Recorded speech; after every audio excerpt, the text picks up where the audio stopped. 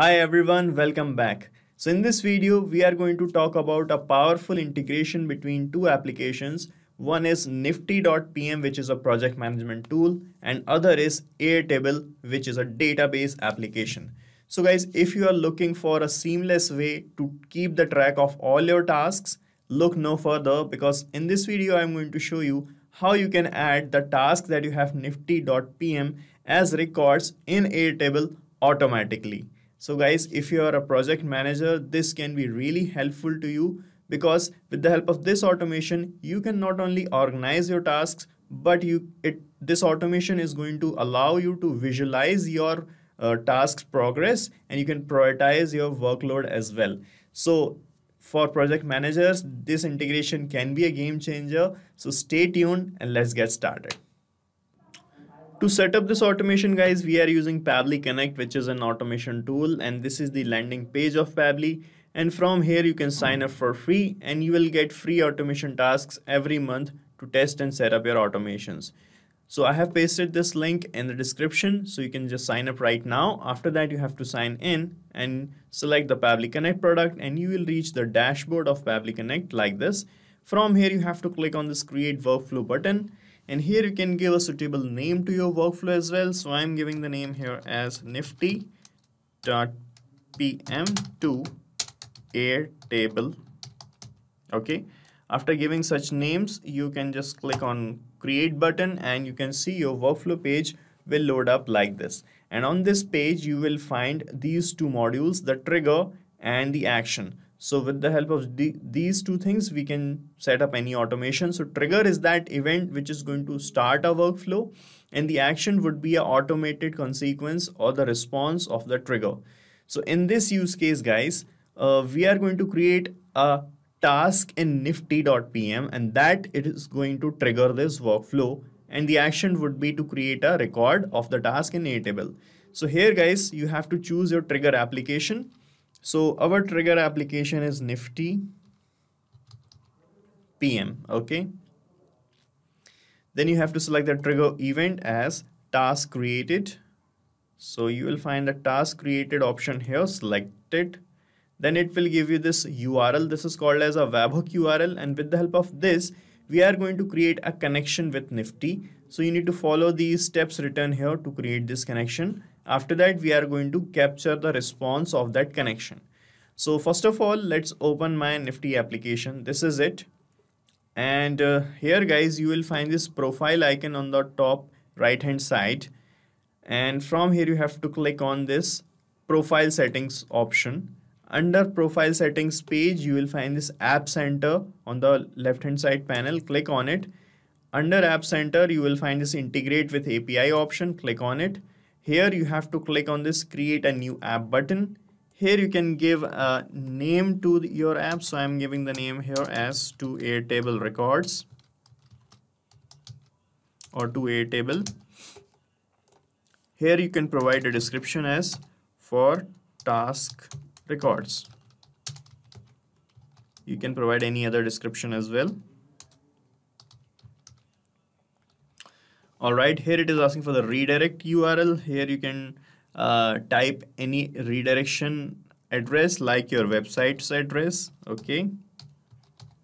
All right then it is asking select app scopes. So you have to provide access to this application to these scopes. So i want to uh, track the tasks. So i'm giving the scope for this application to tasks. So i'm checking the tasks box. After that click on create button and you can see a new app is created. Now you have to click on this configure button. And under the configuration page you will find this add webhook button. Click on it. And here it is asking for the endpoint URL so in this field you have to paste this URL that you got in your workflow. So just click on copy from here and paste this URL here in the endpoint URL field. Alright after that you will find these options here.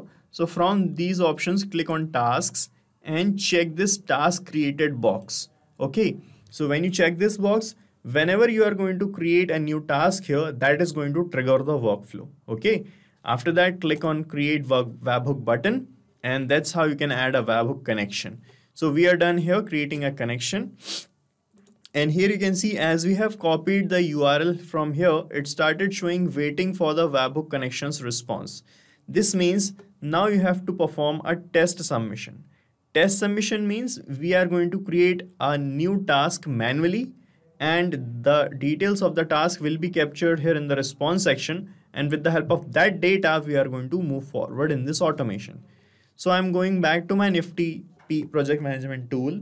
And here let me open the task section. Alright so I am under this project named as Pabbly project. And here is the task section so here we have add task button click on it then click on tasks. And here you can give a name to this task. So I'm giving the name as demo task let's see. And in the description I am writing for creating automation. Okay. Here you can select your project here you can select the status and the due date. You can set a due date. Okay. And you can assign any person to this task also. And after that click on add a task button. And this task will be added here like this. You can see the task is added. Now let, let's check in our workflow if we got the data captured so here you can see guys we got the data captured of a new task like this. It is showing the message as successfully created. And here it is showing this id guys okay? And event type is task created.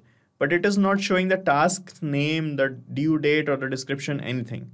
So guys, uh, we are going to fetch the task details by connecting Nifty here in the section step. And here we are going to use a action event to fetch the task details. So select Nifty PM again in this action step and the action event we are going to use here is this get object by ID. So with the help of this you can retrieve the details of the objects like tasks, projects or portfolios, etc. Select this option and click on connect. From here, select add new connection, then click on connect with Nifty and it will bring you to this window. And from here, guys, uh, you have to select your workspace name, okay? And then you have to click on allow to give the access to Pabbly Connect in your project management tool. Then the authorization will be successful and you will be connected like this. Then it will ask for the object type. So from here you have to select the type as task. Then it will ask for the object id so here we are going to enter this id that we got here okay? This one and i'm going to map this id uh, here in this field like this. So to map the id here you just have to click here on this field and the previous step will appear in the drop down. And when you click on it you will find all the data right here. From here you can map the id like this. Okay then click on save and send test request button. All right so actually uh, this is not the id we are going to use. We need to use this data id okay let me change it. Click on Nifty PM again and from here map this data ID not the trigger ID map the data ID then click on save and send test request. And you can see now it started showing the details of the name of the task okay? And here you can see the subtask details and here you can see the description is here the due date is here. That's how you can capture the details of the task. So when you map the data ID like this uh, in real time whenever you are going to create a new task this is going to trigger and the data will be updated here in this label and you will get new details of the new tasks okay? So here guys uh, you can see in Airtable let me show you my Airtables database. Here I am adding these details of the tasks the na the name the description and the due dates so we have received the names and the descriptions but in due date you can see the due date is is in this format. Okay but I want to save the date in this standard format. For that I'm going to change the dates format using a feature of Pabbly Connect which is called date time formatter. So just click here on this plus icon and another action step will open up here. From here I'm going to search for date time formatter feature of Pabbly Connect okay So with the help of this feature, we can change the formats of the dates and the time. So select the action event now as format date with time zone. Okay, then click on connect.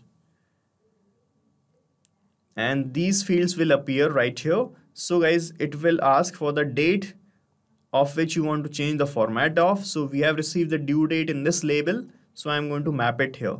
So just click here and from this second step, map the date label